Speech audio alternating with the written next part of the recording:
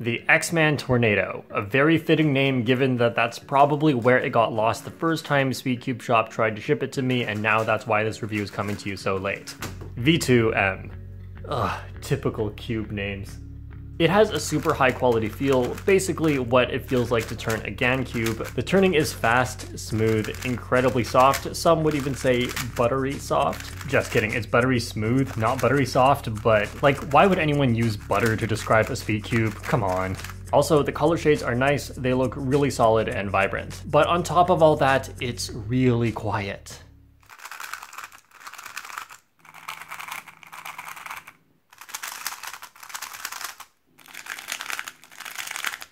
This is a highly customizable cube as long as you can read Chinese. No, but this guide is actually pretty good for explaining their customization system and you can reach a wide variety of different feels on this cube by change, uh, the wrong cube. Underneath each center cap, there are two sets of settings. On the inside of the circle, there's a number which is the setting for the axis distance. In other words, how far apart you can pull the cube. And you wanna think of it as tightness because the higher the number, so if you go all the way to five, then you'll have a tighter cube. The outer settings determine the strength of the springs in the cube, which don't affect how much you can pull them apart, but it does affect how easy it is to pull it apart, which affects the flexibility and how fast the cube will feel. You can see which setting you're on not by which one's closest to the circle, but by which number you see in the gap of the centerpiece, which is also 3 right now. And again, you want to think of the outer numbers as the tightness of the springs, so if you put it on 5, it will be the tightest and the cube will slow down. In the box, you are given this tool and you can change the head of it by popping off the back and switching it, but you're gonna use this tool to change everything in here. If you turn this counterclockwise, you can change the inner setting. Now it is on four and it just keeps increasing until you hear the big snap and now it's back to one. And notice that when we turn that setting, this setting here at the gap is still three. Now, if you turn clockwise, you can change the spring setting and that moves which number is shown at the gap. And the big snap is one. And just remember, you have to do this on all six centers.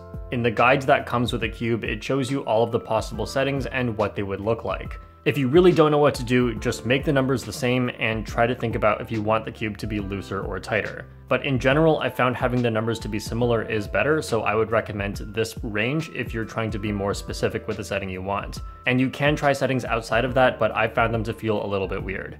And then there are also the magnet settings. You'll have to set your screwdriver to the flathead and then you can just put it here and turn. On each side there are five magnet strengths from the minus sign to the plus sign, of course meaning less to more magnet strength. And remember, stronger magnets is not always better because it can slow down your cube with the extra force you would have to put on it. If you make the core settings looser, I think you should have weaker magnets, and if you make the core settings stronger, you can go for stronger magnets. But personally, I would do all the core settings first before changing the magnet settings. And you'll want all the magnet settings on the cube to be the same, so you'll have to change each side of every edge for a total of 24 edges you have to change, and you cannot do the same thing for the corners, so don't worry about those. If you're wondering which settings I use, in the core I have two on the inside, one on the outside, and for the magnets I'm using setting 2. And if you were paying attention to how the settings work, you'll know that these are relatively loose settings almost the loosest settings. And if you know me, you know I don't usually do that. I need to talk about this cube's corner cutting.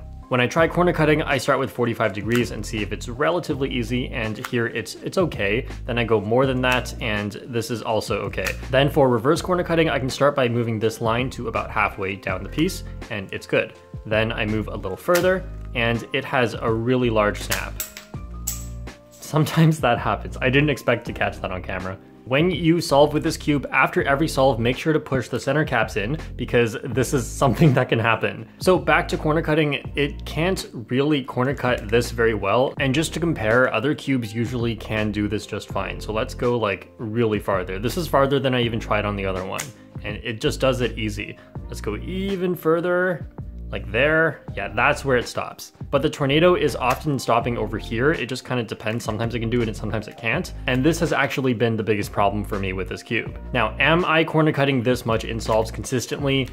No, but that's not really the point. It still really matters because your corner cuts and solves are not perfect. This is a perfect corner cut. You might be holding the cube in a weird way that causes it not to work. Oh yeah, corner twist, that happens sometimes. And in solves, I noticed that the biggest problem was the reverse corner cuts, and either it didn't corner cut or it would make the corner cut a lot harder, and I had to intentionally avoid these by turning much more accurately than I usually do.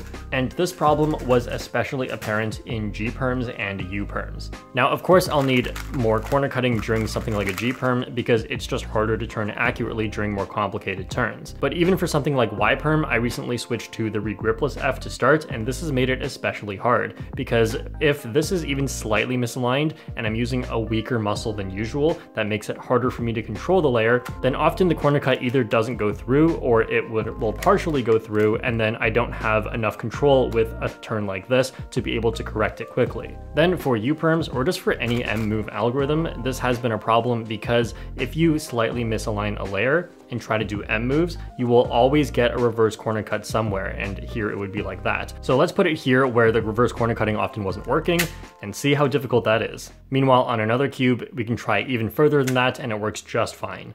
The reason that I set this cube to be a bit looser was mainly just to make regular corner cutting better, and then I also made the magnets weaker to complement this looser setting. All of those situations I had before with regular corner cutting, where the cube would abruptly stop because I got caught, those happen a lot less when the cube is looser and when the magnets are weaker. That way I have a more consistent amount of force I have to put on the cube. However, I could not fix this problem for reverse corner cutting, so if I run into a reverse corner cutting problem such as in a U-perm, then it just kind of ruins the solve. And I think you can see that in my times here. This cube is very good, so very often I get great times, but then every once in a while I'll get just a terrible time. However, yes, I do think this cube is good because like I've said, everything else about it is great. The customization is not too confusing and hits a wide range of settings, which is pretty much all you can ask for. And the cube feels really great to turn. It just has that reverse corner cutting problem, which is such a shame.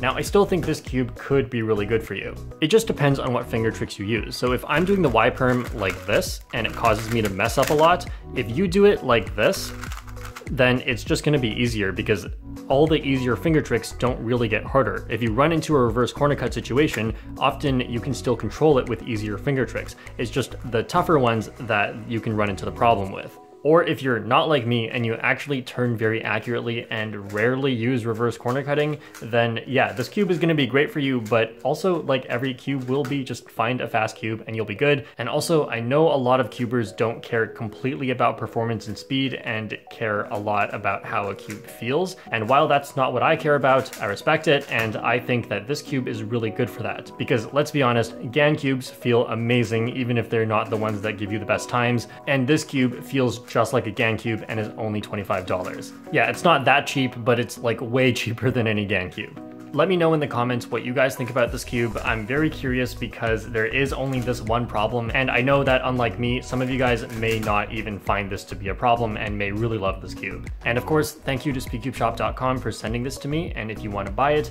there will be a link in the description, and make sure you use the discount code JPERM. Thanks for watching, and I'll see you all next time.